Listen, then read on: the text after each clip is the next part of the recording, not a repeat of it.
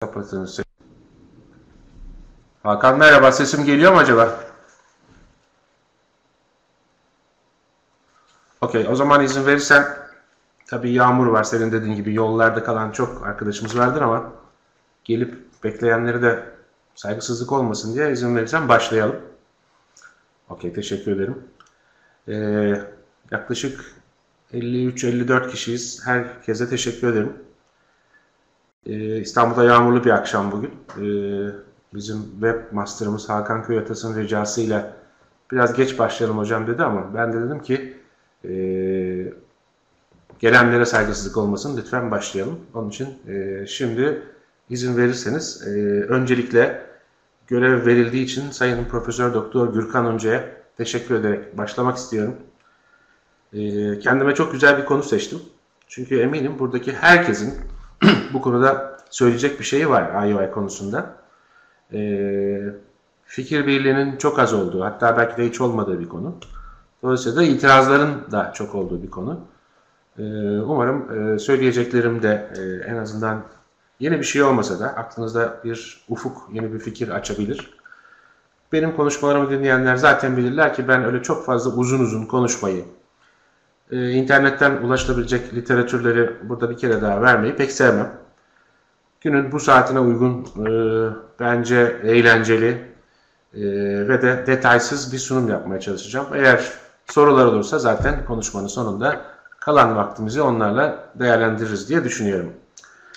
E, onun için müsaadenizle şimdi başlıyorum. E, bugünkü haliyle AÜA'yı yapmaya devam edelim mi, etmeyelim mi? Konu başlığı bu. Öncelikle bugünkü hali ne derken azıcık geriden almak istiyorum. Tarihte ilk inseminasyon e, Britanya Krallık ailesinden 4. Henry için yapıldığı söylenir. İlk eşine çocuğu olmadığı için boşamış 4. Henry. Daha sonra Portekiz Kraliçesi Juana ile evlenmiş ve Kastilya kralı olmuş. 6 yıl boyunca bu evlilikten de bir gebelik oluşmayınca gerçek ortaya çıkmış. Ve ona şu solda gördüğünüz The Impotent yani iktidarsız takma adını e, getiren özelliği ortaya çıkmış. Tabi kral soyu devam edebilsin diye e, ta 1400'lerde rivayet olunur ki inseminasyon icat edilmiş ve böylece gebelik oluşturulmuş diye yazıyor tarihçiler. E biz de inandık. Çünkü e, bunlar İngiliz. Yani e, imparatorluk için her şeyi yaparlar e, aile devam etsin dedik. Ama bakın sonra ne oldu? 1455 ile 1487 yılları arasında Britanya'da Lancaster ve York aileleri arasında The Wars of the Roses yani Güllerin Savaşı diye bilinen savaş başladı. Üçüncü Richard şu meşhur lafı vardır. Bir at, bir at için krallığımı veririm. Bu savaşlardan birinde atsız kalmıştır ve yaya olarak savaşmaya devam ederken kafasına yediği bir balta darbesiyle ölmüştür. 22 Ağustos 1485 Cesedi Leicester'da bir manastırın bahçesine getirilmiş, halka gösterilmiş, artık Lancaster'ların e, devri bitti diye kanıtlanmış ve aynı manastırın bahçesine de gömülmüş savaşta ölen son İngiliz kralı olarak. Zamanla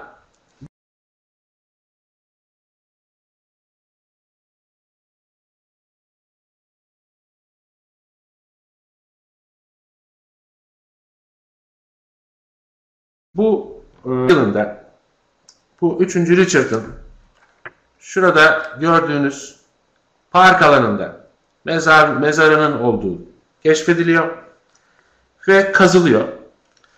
Kazıldığı yerde böyle bir iskelet bulunuyor. Bu iskeletin şuradan gördüğünüz gibi sağa e, doğru skolyozu da olduğu görülünce diyorlar ki bu gerçekten de 3. Richard çünkü 3. Richard'ın bir omzu diğerinden daha e, aşağıda. Dolayısıyla da açıklığı sola bakan bir skolyozu var diye tarihçiler yazmışlar. Ancak tabi bilim bunlarla yetinmez. bilim diyor ki ben bunun 3. Richard'ın iskeleti olduğunu kanıtlamak istiyorum. Ve de bu kanıtı DNA çalışmalarıyla e, size sunabilirim.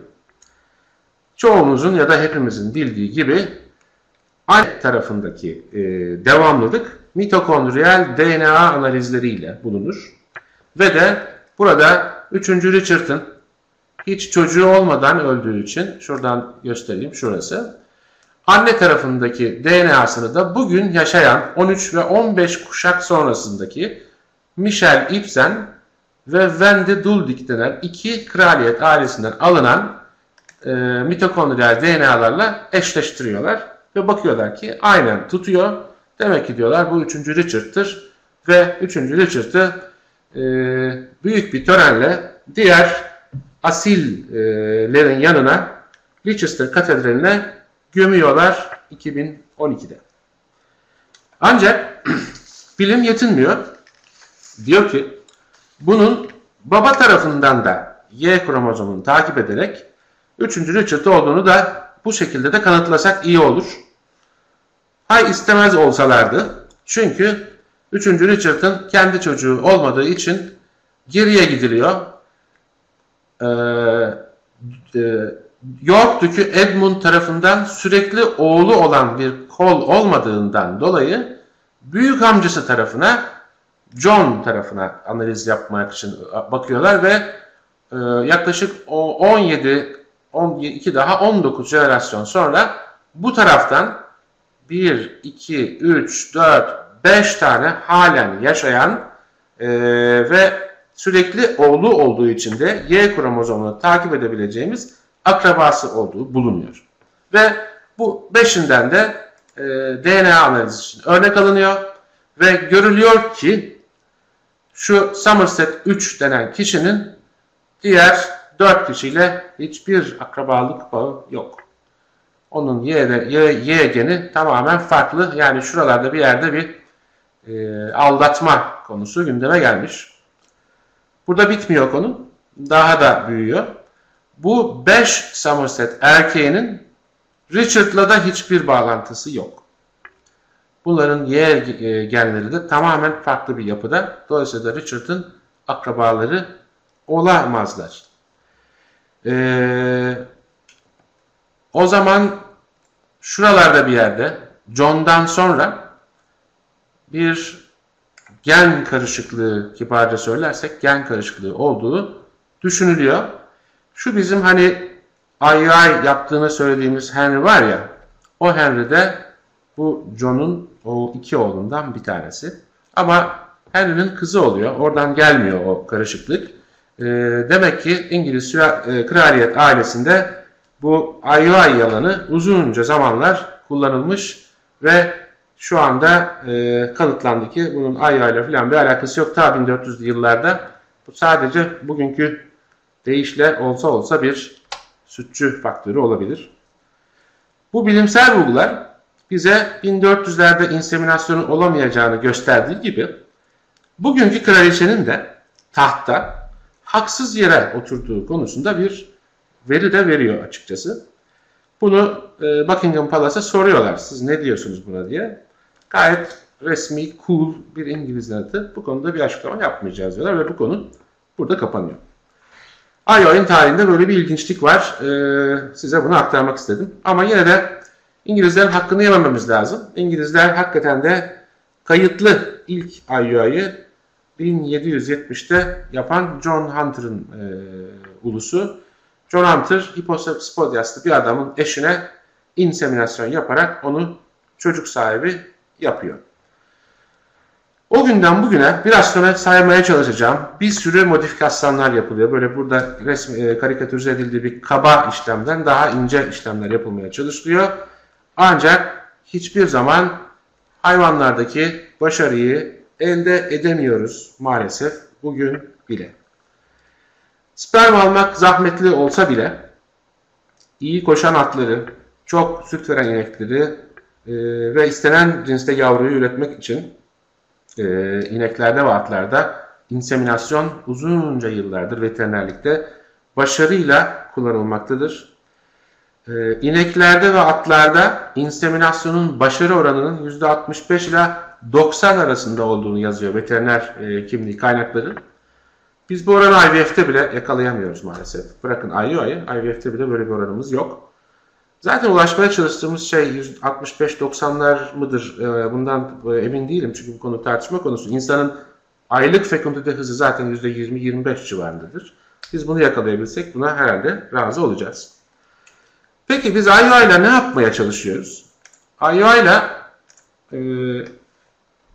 bunun şeyi oynamıyor Hakan'cığım. E, burada bir klik edip bir şey göstermem lazım. Sen hadi becerebilirsen lütfen. Biz IUI ile fertilizasyon anında tubalarda gamet varlığını garanti etmeye çalışıyoruz. Ovülasyonu takip ederek ya da ovülasyonu stimüle ederek bir oosit salındığında, bu bir animasyon ama burada oynamadı özür dilerim. İçeriye bıraktığımız spermlerin gidip ampulle de o oositi yakalamasını e, sağlamaya çalışıyoruz. Bu, bu şekilde de gebelik oranını, gebelik şansını yükseltmeye çalışıyoruz. Peki simüle, et, simüle ettiğimiz şey ne bizim? Simüle ettiğimiz şey tabii ki seksin e, başka bir versiyonu. Merak etmeyin play düğmesine basmayacağım.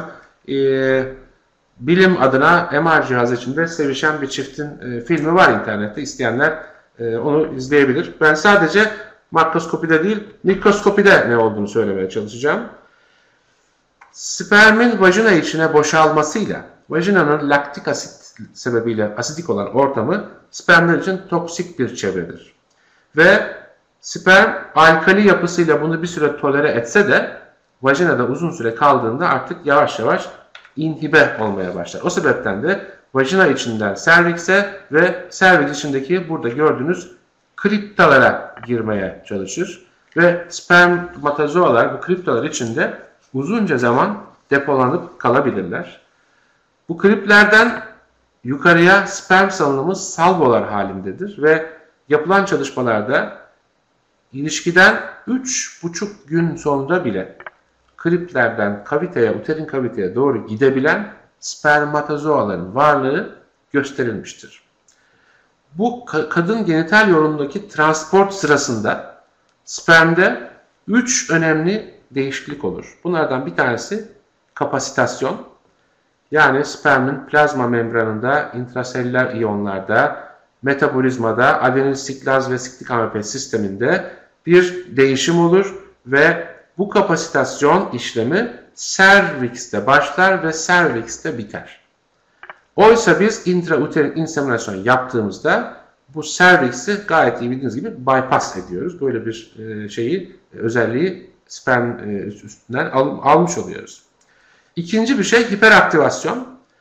E, tubaların içindeki sıvı visköz bir sıvıdır ve spermin bu visköz sıvı içinde oosite doğru yüzebilmesi için hiperaktive olması lazım. Onun için de spermin hareketinin hızlanması, hiperaktivasyonu tubaların içinde olan bir şeydir. Üçüncü şey ise akrozom reaksiyonu. Oosite yaklaşınca biliyorsunuz kurşunun e, deriyi deldiği gibi delmiyor e, sperm.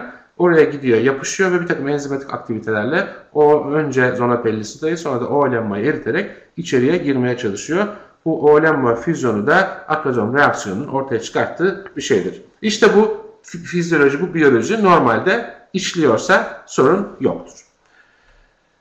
Bizim insemine ettiğimiz spermatozoalar aşağı yukarı 20-25 dakika sonra tubanın ucundan, fimbriyalardan batına doğru, batın boşuna doğru geçmeye başlar.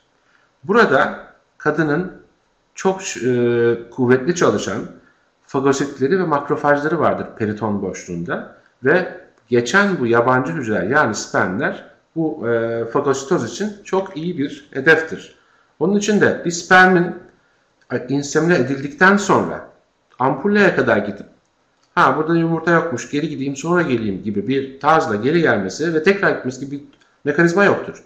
İnsemine edilmiş olan volüm yaklaşık 20-25 dakika içinde tubaların ağzından e, batına doğru dökülür ve orada eğer ampulle de oositi bulursa fertilize eder, bulmazsa bizim fagositozumuzun hedefi haline gelir. Burada IUI için hasta seçiminin çok çok çok önemli olduğunu bir kere daha vurgulamak istiyorum. Biz IUI için hasta seçerken en az bir tüpünün açık olmasını istiyoruz.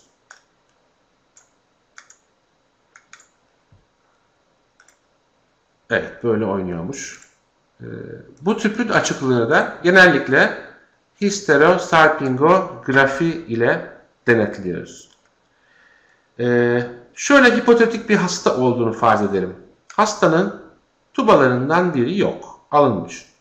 Ama o tarafta sağlıklı bir overi var. Öbür tarafta tubası var ama orada da overi yok. Şimdi böyle bir hastaya IUI yapar mısınız? Böyle bir hastaya IUI yapmazsanız her iki overi olsa da özür dilerim. Her iki overi olsa da e, Hakan'cığım bunu nasıl kaldıracağım şu sağ taraftakini? Evet teşekkür ederim. Her iki overi olsa da tubalarından birisi kapalıysa kapalı taraftaki o ovaryum stimülasyonla veya natürel yoldan oosit ürettiğinde yine de inseminasyon yapar mısınız? Yani hem bu tarafta hem bu tarafta oosit olmazsa sadece bu tarafta olursa e, inseminasyonunuza devam eder misiniz? Çünkü bu bu soru hani tek tüp yeterlidir sorusunu da bağlayan bir sorudur. Benim e, mantığım e, bu tek tüpün yeterli olduğu konusunu bir türlü almıyor. Çünkü bu taraftaki tuba açıksa sürekli bu overin ovülasyon yapması lazım ki sizin inseminasyonunuzdan başarılı bir sonuç alabilirsiniz. Onun için de hani bu e, tek tüp konusu belki sonunda tekrar tartışırız. E, prognozu belirleyen konulardan bir tanesi de ovaryen rezerv. Hasta seçiminde önemli bir şey ovaryen rezerv. IUI başarısını direkt etkilediği gösterilmiş ve AMH konsantrasyonu arttıkça IUI başarısı da artmış. 2.3'ün üzerindeki bir IUI'ın gebelik oranını 5.8 odds ratio arttırdığı da yapılan çalışmalarda gösteriliyor. Antral folikül sayımının aynı gücü yok. Kıyıda köşede kalmış bir yumurtayı döllerim e, umuduyla IUI yapmak bence fazla e, romantik bir yaklaşım gibi geliyor. E, Ovalyen rezervin IUI üzerindeki başarısının önemini vurgulayan başka bir çalışmada bence şu iki çalışmayı kombine eden e, analiz yani FAST ve FORT çalışmalarındaki e, IUI e, sonuçlarını analiz eden e, çalışmacılar şunu göstermişler. FSH'ı 10 ila 15 mili, mili ünite ve estradiolü 40 pikogramın üzerindeyse 3. günde bu hastanın IUI ile gebe kalma şansı neredeyse yok. Dolayısıyla da hastanın FSH'ı sınırlardaysa 10-15, estradiolü de 40'ın üzerindeyse bu hastaya e, IUI asla önermeyin diye bir çıkarımda bulunabiliriz. Hasta seçiminde başka önemli bir kriter sperm konusu. Erkek faktörünü değerlendirirken normal bir sperm sayımı istiyoruz çoğumuz. İşte motilite, morfoloji, konsantrasyon bakılıyor. Ama aslında yapılması gereken doğru şey yıkanmış sperme bakıp ona göre karar vermektir. Ancak bu bazen pratik sebeplerden de mümkün olmayabiliyor. Bu sebepten de eğer yıkanmış sperm ile karar verecek bir opsiyonunuz yok ise ilk IUI'daki sperm yıkama sonrası sonucu laboratuvardan isteyiniz. Ve buna göre de IUI'ya devam edip etmeme konusundaki kararınızı tekrar gözden geçiriniz. Bu kararı verirken en çok kullanılan kriter e, insemine edilen total motil sperm sayısıdır. Bu, bununla ilgili literatürde çok değişik kriterler var. Kimisi 1 milyonu, kimisi 2 milyonu, kimisi 3'ü, kimisi 5'i kabul ediyor. Tabii ki ne kadar çok sperm, o kadar çok gebelik. Bunda hiçbir tartışma, hiçbir beis yok. Ee, bu sebepten de ben de Ankara'da çalıştığım yıllarda şöyle bir çalışma yapmıştım. Ee, hastanın madem sperm sayısı arttıkça gebelik oranı artıyor ise hastanın erkeği eğer iki tane sperm örneği verebiliyor ve iki sperm örneğini aynı anda yıkayıp insemine edebiliyorsam hastanın gebelik oranı teorik olarak artması lazım. Ee, ve böyle bir çalışmayı yaptığımızda çalışma grubu 39 vaka yani ikinci sperm örneğini verebilen 39 vaka veremeyen ya da vermek istemeyen bir başka 50'lik e, kontrol grubuyla karşılaştırıldığında görülüyor ki gebelik oranı birinde %15 birinde %10 aslında istatistiksel olarak anlamlı değil ama bence bu en sayıları arttırıldığında kesinlikle anlam kazanacakmış gibi en azından bir projeksiyonum var.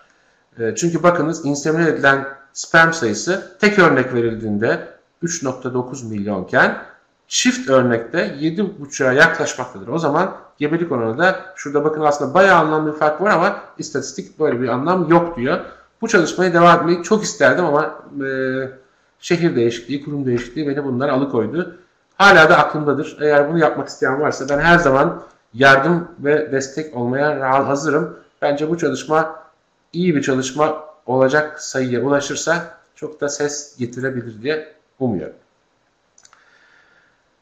Morfolojinin etkisi var mıdır diye de bakılmış. Ve de görülmüş ki %4,5'un üzerinde bir normal sperm morfolojisi IUI'da başarıyı arttırmıştır. Ancak bu fark açıklanamayan infertilite grubunda görülememiştir. Erdem kardeşlerin bir çalışması Ankara'dan. Tabii morfoloji arttıkça gebelik oranının artması bir sürpriz değil açıklanamayan bir fertilite artmaması da bence de sürpriz değil. Çünkü konuşmanın sonunda bunu söyleyeceğim.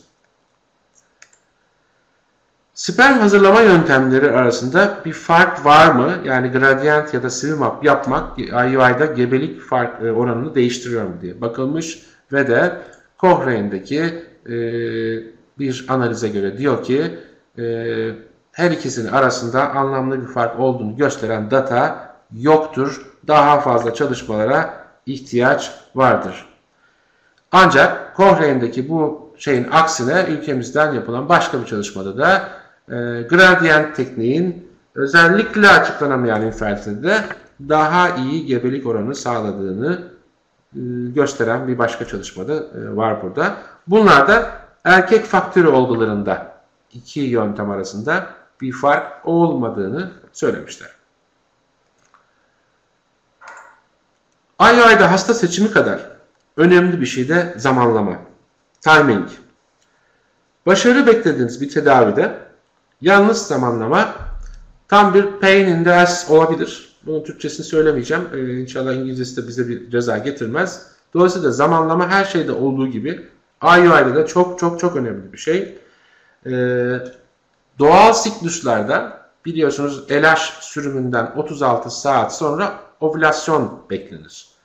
Stimüle sikluslarda ise 32 ile 34 yani erken ya da 38-40 saat arası yani geç IUI yapmak eşit oranda başarılı yani eşit oranda başarısız bulunmuştur. Bunun e, sebebini de yine konuşmamın sonunda söyleyeceğim. Dolayısıyla da burada önemli olan saat değil başka şeyler. Çünkü burada önemli olan saat değil o saatte ampullada oosit var mı yok mu? Biraz önce de bak anlatmaya çalıştığım gibi insemine ettiğiniz yıkanmış hipermotilite edilmiş sperm kaviteden ampulleye taş çatlasın 30 dakikada ulaşır. O sırada orada oosit yok ise o zaman yapılacak bir şey yoktur. Gebelik oranı da e, beklenmemesi lazımdır. İşte benim 2008'de yaptığım bir çalışmada bu. Bu çalışmada 641 IUI siklusunu e, geriye doğru retrospektif olarak inceledi ve IUI yapıldığı sırada folikül rüptürüne dair bulgular varsa gebelik oranı böyle, folikül rüptürü yoksa gebelik sayısı özür dilerim oran değil sayısı böyle. Dolayısıyla bu 64 gebelik 272 de 64 306 27 arada anlamlı bir fark var. Dolayısıyla da intrauterin inseminasyonda timing çok önemli. Bu timingin ne kadar önemli olduğunu gösteren başka çalışmalarda oldu benim çalışmamdan başka. İşte burada e, bu çalışma e, şu aşağıdaki kolona bakarsanız erkek faktörü dışındaki bütün başka e, anovülasyon, unexplained ve diğer grupta gördüğünüz gibi farklı ve anlamlı bir gebelik oranı sağlamıştır. Eğer ovülasyon olduğuna dair bir stigmat, bir ultrasonografik bulgusu var ise hastanın. Benim çalışmama destek olan başka bir şey daha oldu. Bunu konuşmamın sonunda söyleyeceğim. Bundan hem de öyle ilginç ki iki gün önce oldu. New York'tan bir telefon aldım. Bunun ne kadar güzel ve önemli olduğunu biraz sonra size anlatacağım bu telefonu. Ovülasyonun kesin göstergesi nedir? O ay gebe kalınmış olmasıdır. Yani bu kadar pragmatik. Dolayısıyla ovülasyonu %100 predikt eden herhangi bir test maalesef elimizde yok. Ovülasyonu garanti edemiyoruz ama folikül rüptürünü görmek ovülasyon olduğuna dair kuvvetli bir bulgudur. Artı folikül rüptürü olduğunu görmemek infertil popülasyonda %25'e kadar çıkabilen luteinize unruptured follikül sendromu, LUF sendromunun hakkında da bize bir fikir verir. Hatta ekarte ettirir. Hastanın çeşitli defalarda ultrasonu yaptığınızda folikülün rüptürü olmadığını görüyorsanız, ertesi gün baktığınızda yine olmadığını görüyorsunuz. O zaman bu hastanın LUF olma ihtimali çok yüksektir. Eğer ultrasonografik bir detayı kaçırmadıysak gözümüzden. Onun için de e, LUF sendromu olabileceğini işte bu ovülasyon takibiyle de hastanın anlayabiliriz. Bu konuda ovülasyon takibi önemli bir şey. Peki tek mi aşılayalım, çift mi aşılayalım? Teorik olarak e, çift aşılamada aslında daha fazla başarı beklemez misiniz? Mantık öyle söylüyor. Ama Cochrane maalesef öyle söylemiyor. E, ben kendi adıma tabii Cochrane'e de e, kanıta dayalı büyük bir itirazım yok ama e, fertil periyotta gebeliği yakalamak için biz hastalara ne söylüyoruz? Ovülasyon döneminde sık beraber olun. Peki ovülasyon döneminde sık inseminasyon yapılırsa da aynı şey elde edilmez mi? Mantık elde edilebileceğini düşündürse de Cochrane böyle bir şey olmadığını söylüyor. Onun için de ben de halen aklım almasa da tek IUI yapmaya devam ediyorum. E, ee, IUI sonuçlarını iyileştirmek için e, çok yeni 2016 Şubat'ta yayınlanan bir Fransız çalışması antagonist kullanımı IUI sonuçlarını iyileştiriyor diye böyle bir bulgu var gördüğünüz gibi. E, tabii ki stimülasyonda ovalyan stimülasyon yaparken multiple folikül e, geliştirmenin avantajı gebelik oranını arttırmak. Ama önde giden folikül 17 mm'ye geçmeye başladığınız zaman luteiniz e, elas sörcü olacağı için diğerlerini kaçırma ihtimaliniz de oldukça yüksek. Hani mantıken aslında antagonist kullanımı 2 folikülü 3 folikülü yakalamak için uygundur gibi gelirse de itiraf etmeliyim. Ben bunu halen kendi pratiğime sokmadım. E, umarım konuşmanın sonunda siz de bana fikirlerinizi söylersiniz.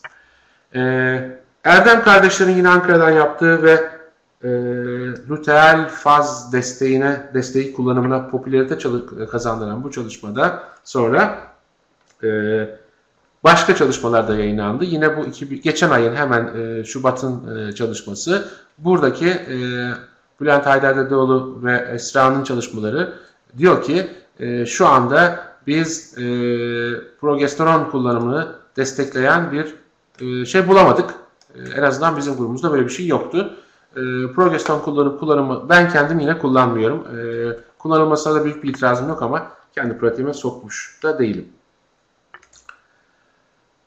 Bizim yönetmeliğimize göre 2 IUI yapılacak ve başarısız olunursa IVF'e geçilecek. Bence bu bir dostlar alışverişte görsün yaklaşımı. Neden 2 IUI? 2 IUI kaç seksin yerini tutar? Bir yıllık beraberlikten sonra çocuğunuz olmuyorsa bize başvurun diyoruz ya çiftlere. Bu bir yıllık beraberliğin bir anlamı var istatistiklerden yola e, çıkmış. Peki bu iki IUI bir yıllık seksin karşılığı mıdır? Hani bir yılda bir şey olmuyor bir de iki ay bir de iki de IUI ben yapıyorum. Olmuyor o zaman IVF'e geçelim. Bunu araştırabilmek için hiç seks yapmadan gebe kalmaya çalışan çiftlerle ilgili bir şeyler okudum bu konuşmayı hazırlarken. Yani E, birincisi lezbiyenlerde gebelik durumu ve IUI sayısı nedir? İkincisi de HIV serodiscordant çiftlerde yani biri AIDS'li biri değil. Seks yapmıyorlar sürekli IUI ile gebelik sağlamaya çalışıyorlar. Onlarda ne olur diye ne oluyor diye bir baktım literatüre. Bu çalışma diyor ki burada çok güzel görünüyor mu bilemiyorum. Ee, 4.2 veya 3.9 IUI gerekir ee, bir lezbiyen çiftte gebeliği sağlayabilmek için. HIV uyumsuz çiftlere bakıldığında da yine 4 civarında IUI gerekiyor bir gebelik sağlayabilmek için. Şimdi burada dönüp tekrar IUI indikasyonlarına bir vurgu yapmak istiyorum. IUI'nin terapötik olduğu indikasyonlar var. Seksüel disfonksiyon, empotans, vajinismus, hipospadias, retrograd ejekülasyon, e, lezbiyen çift, tek anne, HIV uyumsuz çiftler, hatta servikal faktörde, e, belki erkek faktörünün bir kısmını bile buraya katabiliriz. IUI, terapötik IUI'dir. Endometriozis ve açıklanamayan infertilite grubunda ise IUI tamamen ampiriktir. Dolayısıyla da hiç yapılmadan da ilerlenebilir. Öyle mi? Evet çünkü FAST çalışması hepinizin malumu FAST çalışması diyor ki bir IUI yaparak ya da yapmadan ilerlerseniz aşağı yukarı 5000 6000 e, pound'a yakın e, bir fark dolara yakın bir fark oluyor bebek doğumu başına. Dolayısıyla da e, bu tabi kanıta dayalı tıp ve de e, hani para burada önemli mi? E, önemli. Çünkü e, IUI başarısı e, beklenmiyorsa o zaman hastanın e, rezervlerini de tüketmemek lazım. Burada söylemeye çalıştığım gibi IUI başarısında birçok değişkene bağlıdır IUI'nin başarılı olması. Ancak IUI terapötik maksatlı kullanılıyorsa 2'den çok yani 4 ya da 5, 6 IUI yapmak gerekir. Açıklanamayan infertilite de IUI yapmayı düşünüyorsanız yapmayın. Direkt hastayı IVF'e gönderin. Çünkü yapılan çalışmalar bebek başına ve çiftin harcadığı total para başına e, daha ucuz olduğunu söylüyor. Direkt IVF'e geçmenin. Açıklanamayan infertilitede IUI yapmayın, IVF yapın dedim az önce. Bir de parası olmadığı için IVF de yapamayan, hatta IUI'da yapamayan çiftler var. Ben de bunu da araştırdım. Literatürde daha ne kadar uzun takip edilmiş acaba çiftler diye. Bakın bir yılda %14-20 arasında gebelik, 2 yılda %25-30, 3 yılda %60-80, 5 yılda %80, 9 yılda primer infertillerin %64'ü, sekonder infertillerin de %79'u gebe kalmış. Dolayısıyla şimdi tabi IUI mi yapalım, IVF mi yapalım, IUI mi yapalım, hiçbir şey mi yapmayalım ikilemini de bu rakamlara göre e, değerlendirebiliriz. Ovülasyonu sağlıyoruz. Tubalar açık. Spermi de yıkayıp en krem de la krem kısmını hareketli, normal, motil içeri veriyoruz. Yapmamız gereken her şeyi yapıyoruz. Hatta bir değil iki üç folikül bile geliştirerek de yapıyoruz. Ama buna rağmen istediğimiz kadar gebelik elde edemiyoruz. Nerede hata yapıyoruz? Neyi atlıyoruz? Ovülasyon mu olmuyor? Olduğunu zannediyoruz da olmuyor mu? Tubaları açık zannediyoruz da aslında değil mi? Ya da ya da spermle ilgili bir problem mi var? Bizim bilmediğimiz, görmediğimiz. Şunu biliyoruz ama insan üremesinde hız kısıtlayıcı faktör erkektir. Erkek sperminin bu kadar az normal olması %20-25'lik aylık fekundite sonucunu getiriyor. Hayvanlarda, tavşanlarda, farelerde böyle değil biliyorsunuz. Yani IUI'da hazırladığımız sperm aslında fertilize etmeye hazır olmayabilir mi? İşte şu New York'tan gelen telefonu şimdi söylüyorum. 2014 yılındaki ASRM'de 1997'de benim de bir yıl çalıştığım Cornell Üniversitesi IVF merkezinden bir poster sunulmuş. Bu benim de dikkatimden kaçmıştı iki gün önce bu telefon gelene kadar. Bu poster diyor ki hastaların spermlerini kapasitasyon indekslerini değerlendirdik. 63 olguluk bir seride bizim kapasite sperm dediğimiz kapasite olmuş sperm sayısı yüzde 31 vaka, kapasitasyonu yetersiz vaka sayısı 32 idi. Kapasitasyonu yeterli olmuş hastalardaki gebelik oranı %55, kapasitasyonu yetersiz hastalardaki gebelik oranı %6'dır. Başarısızlıkta tabii ki gördüğünüz gibi böyle 94'e 45. Diyorlar ki bizim motilite, morfoloji ve konsantrasyon şeklindeki sperm analizimiz fertil spermi belirlemek için son derece yetersiz ve ham bir veridir. Aslında yapmamız gereken hastanın spermini değerlendirirken bu kapasitasyon indeksine bakıp eğer testten geçmezse hastayı direkt e, özür dilerim testten geçmezse direkt IVF'e e, gönderin. Testten geçerse hastaya IUI deneyin o zaman diye söylemişler. Şimdi e, aslında bu konuda çok şey var ama göstermeme izin verin. Bakınız bu adamlar bana bir form imzalattılar iki gün önce. E, gizli sırları açık etmeyeceğim formu. İmzam da burada görülüyor. Ama yine de ne kadarını söyleyebilirim diye izin aldım. O kadarını şimdi size söylüyorum. Burada görülen bu 63 vakanın üstüne bu vaka sayısı şu anda 5000 ve çok yakında e, Androloji Kongresi'nde sözel bir sunu yapacaklar e, ve o sunuda diyecekler ki biz şöyle şöyle bir e, indeks bulduk. Bu indeksi erkek faktörü olarak değerlendirmemize katın. Eğer bizim hasta adayımızın erkek hasta çiftimizin erkek tarafı bu kapasitasyon indeksinden indeks testinden geçemezse hastaya hiç IUI yapmayın. Direkt IVF'i verin.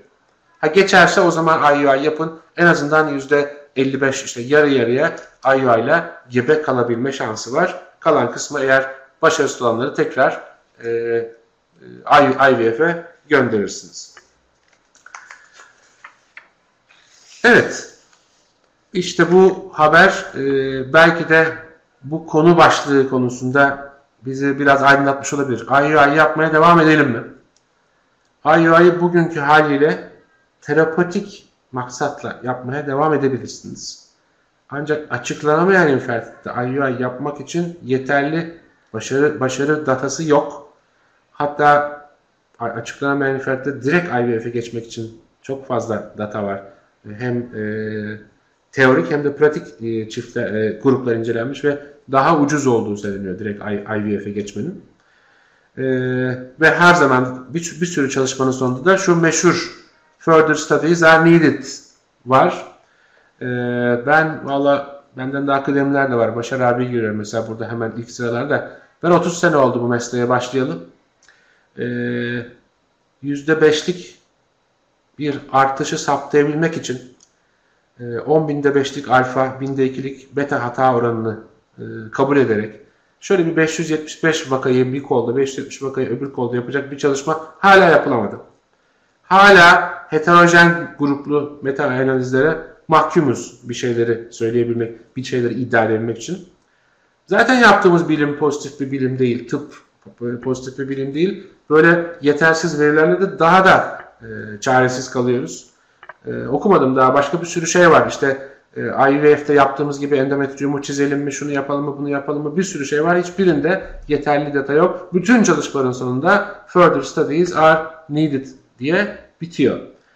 Biz pozitif bir bilimle ilgilenmiyoruz ama e, pozitif fizik gibi pozitif bilimle ilgilenen kişilerin buluşlarıyla belki de bu IUI ile ilgili ya da başka tıpla ilgili konularla emin olacağız. Bakın nasıl e, Einstein 1915'te biliyorsunuz izafiyet teorisini yazarken tüm evrenin yer çekim dalgalarıyla kaplı olduğunu iddia etti ve buna göre cisimlerin kütleleri ne kadar büyükse çekim kuvveti de o kadar büyüktür.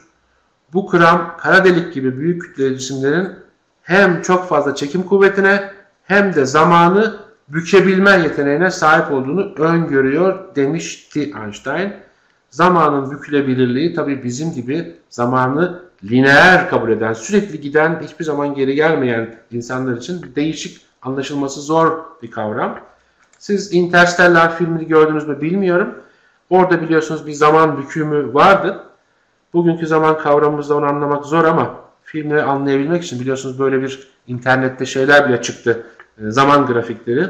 Hani şu sahneyi hatırlarsınız ama kütüphane sahnesi hatırladınız mı? Tam işte orada zaman bükülmüştü ve bu adamcağız kütüphanenin öbür tarafından kendisine ulaşmaya ve e, gelecekteki halini uyarmaya çalışıyordu. Biz de eğer bu zaman bükümünü e, becerebilirse fizikçiler zamanı geri çevirip ay ayla mı gebe kaldı yapmasaydık kalmayacak mıydı diye inşallah bir gün bulacağız ama o herhalde yakın bir zamanda olmayacak. Beni dinlediğiniz, bana katıldığınız için çok teşekkür ederim bu akşam. Eğer sorular varsa bilebildiğim kadarıyla cevaplamaya hazırım. Ama e, dediğim gibi bu konu öyle bir konu ki sadece benim değil, eminim herkesin söyleyecek bir şeyi vardır. Tekrar teşekkür ederim.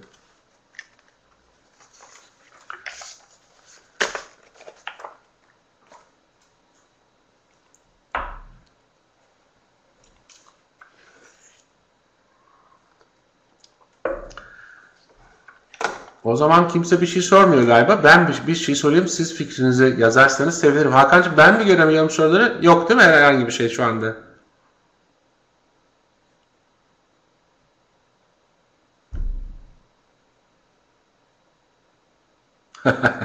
Peki o zaman e, şimdi ben ben o zaman sizden fikir e, rica ediyorum.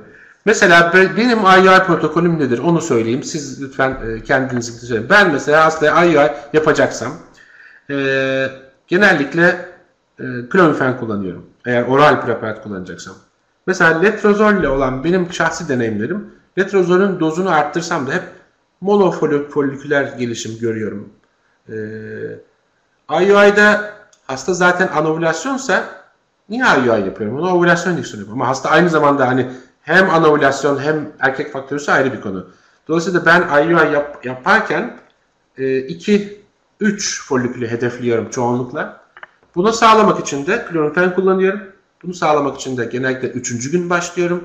Ve bunu sağlamak için de genellikle 50 değil 100 mg başlamayı tercih ediyorum. Eğer hasta çok ciddi pikoslu değilse. 2-3 folikülü yakalayabileceğimi bu şekilde yılların deneyimiyle, deneyimiyle e, ben e, hissediyorum. Letrozol hiç mi kullanmadım? Çok az kullandım. E, hasta eğer anovülasyonsa monofoliküler gelişim istiyorsam retrozol kullanıyorum. Ee, üçüncü gün başlamamın sebebi de klonifende 5 değil de 3. Üçüncü günde daha erken bir FSH piki sağlayarak o e, FSH penceresini daha uzun süre tutarak 2-3 folikülü elde etmeye çalışıyorum ve e, hastanın HCG'sini yaptıktan sonra bütün biraz önce saydıklarımdan dolayı daha geç çağırıyorum. 42. saat civarında çağırıyorum ben hastayı. E, folikül rüptürünü görmeyi tercih ediyorum o sırada. Ve tek IUI yapıyorum. IUI yaparken de e, gradient genellikle tercih ediyoruz ama bu benim tercihim değil aslında. Laboratuvarın tercihi. Gradient'in daha yüksek oran sağladığını, e, gebelik sağladığını söyleyen çalışmaları hem destekliyorum hem de yani kendi pratiğimde e, kullanıyorum. E, shift IUI yapmıyorum. E, birkaç sebepten yapmıyorum. Ben Acıbadem Maslak'tayım ve Acıbadem'in e, Maslak'ta ya da başka bir yerdeki IUI fiyatları hastaya neredeyse iki tane yaptığınız zaman bir IVF'in üçte ikisine geldiği için tercih etmiyorum. E, ideal dünyada hani parayla değil fasulyeyle tavukla çalıştığımız bir dünya olsaydı belki çift IUI yapmayı tercih edebilirdim. Mantığım bunu kabul ediyor çünkü. E, antagonist kullanmıyorum hala. Kullananlara da itirazım yok. E, destek yapmıyorum antagonist kullanmadığım için. Gebelik oranları e, şu anda e, %10-12 civarından daha yukarıda açıkçası ben yakalayamıyorum. Böyle bir %17-18 gebelik oranı veren arkadaşlarıma da gıptayla bakıyorum.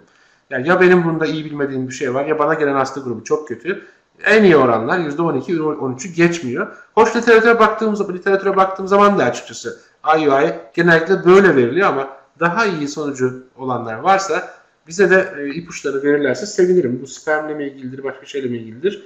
E, gonadotropin kullanmıyor muyum? Kullanıyorum. Gonadotropin kullanırken de low dose step tercih ediyorum. Genellikle de 75 başlıyorum ve e, yavaş yavaş haftalık haftalık arttırmayı tercih ediyorum. Burada tabii e, kabul etmemiz gereken bir şey var. IUI hastası açıkçası artık tersiyer merkezine daha az geliyor.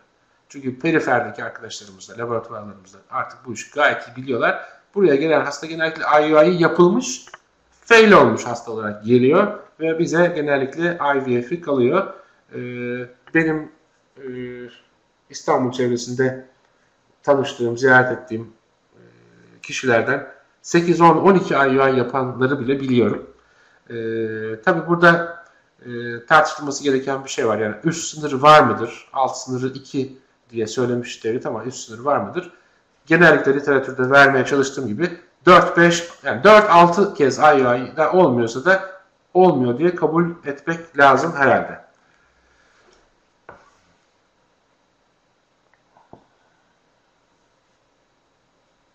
Şimdi açıklanamayan inferte direkt IVF önerebilir miyiz demiş Süleyman Salman. Valla literatür böyle söylüyor. Yani hastanın e, e, teorisi açıklanamadığı için e, adı açıklanamayan inferte. Yani sebebini bulamıyorsunuz. IUI ile hani bir laf var ya subtle ovulation defects yani çok bulunamayan müpem küçük ovülasyon defektleri e, üstesinden gelinebilir mi? Gerilebilir belki. Hani yap, yapana da itirazım yok ama literatür şunu söylüyor. Hastayı evalüe edin. IUI yapın. Olmadı IVF'e gönderin. Bu, bu yolda elde ettiğiniz her bir bebeğin hastaya da devlete de daha pahalıya mal olduğu açık. Ama bir de şöyle bir şey var. Hasta geliyor açıklanamayan infertilite. Kaç yıldır birliktesiniz? 3 yıldır, 4 yıldır, 5 yıldır. Direkt IVF yapalım. Buna tepki gösterenler de var. Ya gittim daha ilk dakikada tüp bebek dedi. Tabi hastayı bilgilendirmek, anlatmak her zaman tavsiye edilen bir şey ama e, her zaman da karşınızda bunu anlayacak kadar e, nasıl diyeyim e, entelektüel seviyesi iyi hasta çift bulamayabilirsiniz. Yani genellikle e, kendi pratiğimde emin olun konuşma zamanıyı muayene zamanından daha uzun tutuyor. Bu IVF ve infertilite hastaları yönlendirmek açısından ama hani siz gördüğünüz zaman periferde başka yerlerde direkt tüp bebek dediğinizdeki tepkiyle ben gördüğüm zaman direkt tüp bebek dediğimdeki tepkiler farklı mıdır bunu da bilmiyorum açıkçası. E, ama ben hastayı gördüğüm zaman tüp bebek dediğimde %99'u buna hayır demiyor. E, özellikle e, belli bir süre beklemiş, işte belli bir e, evaluasyondan geçmiş, belli miktar para harcamış. Bizim ülkemizde biliyorsunuz bu çocuk konusu biraz da e, fazla abartılan sosyal bir konu. Hala yok mu bilmem ne falan diye yatak odasına yönelik sorular çok soruluyor. Onun için de hastalar genellikle yeter artık burama geldi ne yapacaksan yap şu bir an şu bebeği yap modunda geldikleri için hani açıklanamayan infertilde IVF yapmak bir bilimsel anlamda destekleniyor. İki e, kanıta dayalı tıp anlamında daha ucuz olduğu gösteriliyor. Üç bizim özelimizde Türkiye özelinde de çocuk olsun da nasıl olursa olsun açıkçası pek de e, reddedilmeyen bir şey direkt IVF dediğiniz zaman.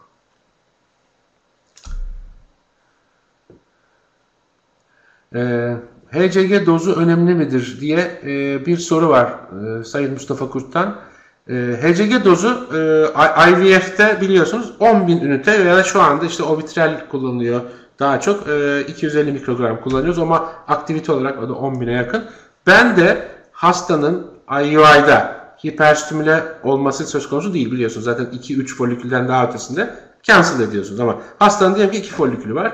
10 bin ünite yapmayı tercih ediyorum HCG açısından.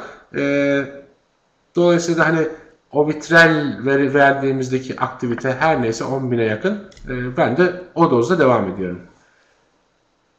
Kaan ne demiş? Luteal CC başlayan bir çalışma var. Çalışma çok literatürde ne arıyorsanız var. Bakın burada e, o kadar uzun bir liste var ki bende çalışmaları okudum, yazdım. Hiçbirini söylemek istemedim. Yani her şey var ama burada tabii önemli olan şu. Sonunda ne var? Yani e, yeterli data var mı, kanıta dayalı mı vesaire. Yoksa ben hiçbir hiçbirine itirazım yok. Ee, Şahin ne söylemiş? Merhaba Tansu abi. IUR sonrası COVID öneriyor musunuz? Ben öneriyorum abicim. Şimdi şöyle bir şey var. Ee, biraz önce söyledim. Ee, zamanla bükebilirsek biz mi yaptık bebeği siz mi yaptığınızı anlayabileceğiz ama bence hiç önemli değil. Ben aslında diyorum ki bugün sana 42. saatte IUI yaptım. Ama bu akşam ya da yarın canın seks yapmak istese de istemese de sana bir COVID öneriyorum ben. Ötesini sen bilirsin yasak değil. Ama senden mi oldu benden mi oldu önemi yok. Olsun da nasıl olursa olsun modundayım ben. Ee, Cahit Bozyel demiş ki LH kitini ovülasyon timing'de kullanabilir miyiz? Şimdi o LH kiti biliyorsunuz LH surge'ünü e, detect eden bir şey. LH surge'ünden 36 saat sonra ovülasyonu teorik olarak bekliyoruz.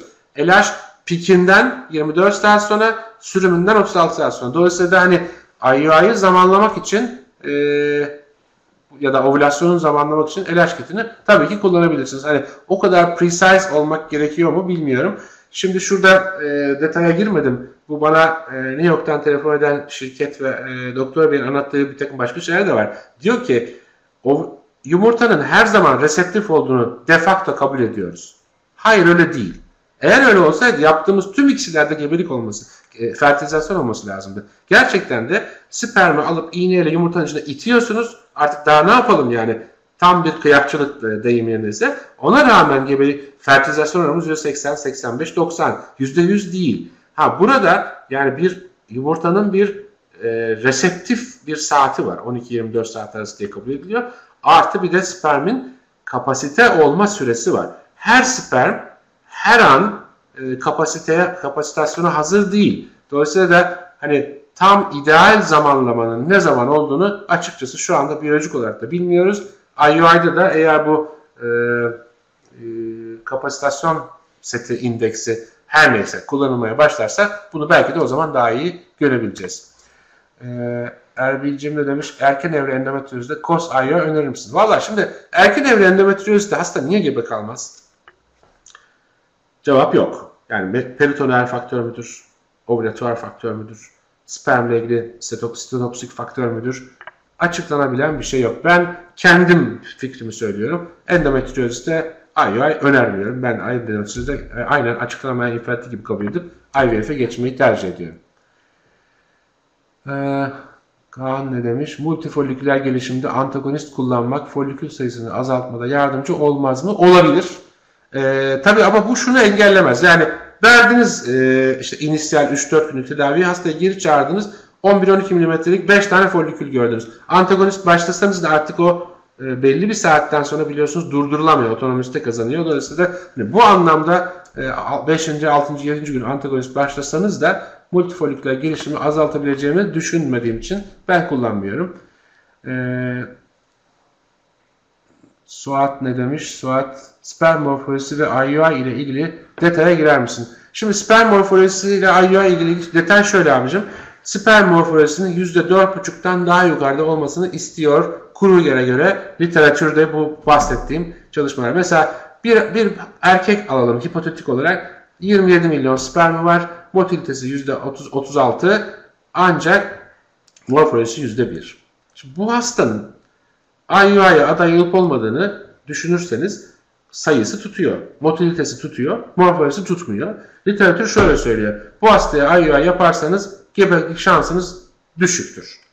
Şimdi mesela eminim hepinizin literat e, geçmişinde, e, literatüründe ya öyle bir vaka var ki yani hayatta inanmazdım kendisi gebe kaldı, IUI ile gebe kaldı, şöyle oldu. Vardır böyle şeyler ama biz orta yoldan konuşursak morfoloji %4,5'ün üzerindeyse IUI'ye iyi sonuç alabilirsin diyor literatür. Ee, burada atladığım bir şey var mı? Daha önce nasıl takip yapıldığını bilmediğiniz IUI hastalarında IUI yapıyor musunuz? Şimdi şöyle bir şey var. Şimdi hastanın e, yani IUI'nin fizik, fiziksel, fiziksel olarak hani sperm yıkayıp koymayı mı kastediyorsunuz yoksa baştan alıp yapmayı mı bilmiyorum ama bence hastaya hani Türkiye şartlarını konuşuyoruz. Amerika'yı falan bizi ilgilendirmez. Türkiye'nin birçok yerinde düzgün iş yapıldığına inanıyorum ben. Yani laboratuvarlarda, şurada, burada. Onun için hastaya IUI yapıldıysa IUI'yi baştan alalım demiyorum genellikle. Erhan ne demiş? İleri yaş IUI için bir engel midir? Belli bir yaş sınırı koyuyor musunuz? Şimdi e, yaştan daha çok tabii AMH ile ilgili data var.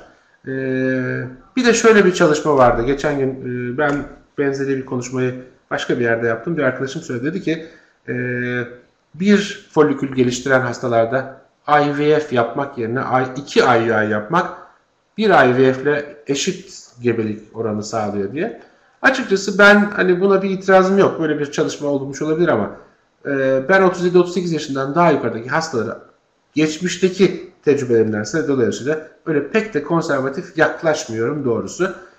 Çok söyleyebilirsiniz. Yani 41 yaşında hasta evlendi 3 ay sonra kendi gibi kaldı. Olabilir. İstisnalar kaideyi bozmaz ama genellikle bildiğimiz nedir? 37,5 yaş çanların çaldığı yaştır. Niye? İşte 25 bin civarında folikül kalıyor ovaryumda ve e, bunu istatistikler söylüyor ve 51 yaşında menopoza girecek bir kadın aşağı yukarı 13 yıl önce 37-38 yaşında hızlı bir fertilite düşüşünün e, kurbanı oluyor. Dolayısıyla ben e, kaba tabir oyalanarak artık IVF ile bile iyi şans veremeyeceğim hastaları çok gördüğüm için bu konuda birazcık daha hızlı davranmayı tercih ediyorum aslında. Ee, İskender Hocam sağ olun çok teşekkür ederim. Ee, sperm DNA hasarı IO öncesinde prognostik değeri var mıdır? Ee, hocam sperm DNA hasarı tabii ki vardır. Ee, siz de biliyorsunuz bu konuda çok işte tanıl, SI şu bu filan çıktı. Ee, tabii burada içeriye bıraktığınız IUI için bıraktığınız e, spermin yıkama prosesleriyle e, morfolojik olarak, motilite olarak seçildiği gerçek. Ancak DNA wise, DNA açısından seçilmediği de bir başka gerçek. Dolayısıyla bu anlamda hani e, IUI'da e, eğer bir prognostik değeri çok özür dilerim kapanıyor. Varsa da e, ben ben bilmiyorum. Bilen varsa da e, yani detaylı anlatamayacağım. Memnuniyetle dinlerim. E, Hakan Kaan Koca demiş ki günlük ovülasyon takibi şansı arttırır mı? E, şimdi tabi IO açısından mı söylediniz yoksa COVID açısından mı bilmiyorum ama ben mesela Maslak'ta çalışıyorum. Şuradan hemen bir kilometre öteye gittiğin zaman koca koca plazalar var. Herkes orada streste çalışıyor. Kadını erkeği. Öyle yatağa girince çok az insan seks düşünüyor ya da seks yapıyor gibi bana feedbackler geliyor. Yani İstanbul'da plazada stresle çalışan bir insanın şöyle bir eğilimi olduğu da bir gerçek. 20 ee, 30 günün bir günü seks yapalım. Hedefe yönelik bir atış olsun. 29 günü uyuyalım. Ertesi günkü işe hazırlanalım. Böyle bir yaklaşım var. Ben hastalarımın bir kısmına e, ovülasyon takibi öneriyorum. Yani madem bu kadar yoğun ve yorgunsunuz e, lütfen ovülasyon takibi yapıp öyle e, gebelik şansını deneyin diye. Ama şunu söyleyebilirim hani bir bilimsel data şu anda veremem ama çok da işe yaradığını açıkçası inanmıyorum. Sunu Hanım demiş ki sol tuba tıkalı over var. Sağda tuba açık over yok. 6 yıllık evli bakan 4,5 ay 4-5 ay önce IUI yapılmış. Bizim 3 ay tedavi sonrası diğer problemi giderek hamile kaldı. 33 yıllık meslek yaşamında birlik doğrudur. Ee, böyle ben başka vakalar da biliyorum. Yani e, ektopik gebeliğini biliyorum. Sperm tubadan çıkıyor gidip öbür taraftaki overi, ov, ovosity ovaryumda belirleyip ovarian ektopik gebeliği biliyorum. Ama bunlar istisnai tabii ki. Ee, Halil Özdurak demiş ki klaveni sabah akşam veya iki tableti aynı anda almak için fark var mıdır? Benim bildiğim yoktur. Başka bilgisi var, olan varsa lütfen söylesin. Erbil Hoca demiş ki IO için yıkama sonrası minimum motil sperm sizce kaç olmalı? Hocam bence e, e, ne kadar çok o kadar iyi tabii ki. Ancak ben kendi pratiğimde 5 milyon üstünü istiyorum. Yani 5 milyon altında bir sperm kalıyorsa diyorum ki yani bir tane e, cengaver lazım bize. Ama ama ama bu 3 milyondan ya da 1 milyondan bir tanesinin tubaya gidip o spermi döllemesi, o yumurtayı döllemesi mümkün ama şey düşük. ihtimal düşük. Kendim 5 milyonu e, kriter almış durumdayım. Onun altına IVF öneriyorum. Evet, başka cevap vermediğim bir şey var mı acaba? Galiba verdik hepsine cevap. Unuttuğum varsa söylesinler. Galiba galiba tamamdır. Ee, atladığım bir şey varsa özür dilerim. Herkese bildiğim kadarıyla cevap vermeye çalışayım. Kaan ne diyor? Evet. Blockle ve grubu IUI çalışmasında endüktri hastalarda ovülasyon günü aşılama yapmışlar. Ovülasyonu nasıl e, tespit etmişler acaba Kaan'cığım? Ve ne olmuş sonra?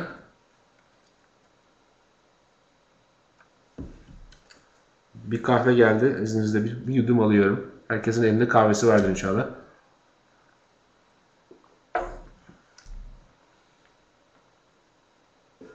Evet bir feedback alamadım ben. Ee, Hakan'cığım herhalde e, başka bir şey yoksa kapatalım mı toplantıyı? Saat kaç? 22.03. Bence süper oldu. Hiçbir zaman uzun konuşmayı sevmem zaten.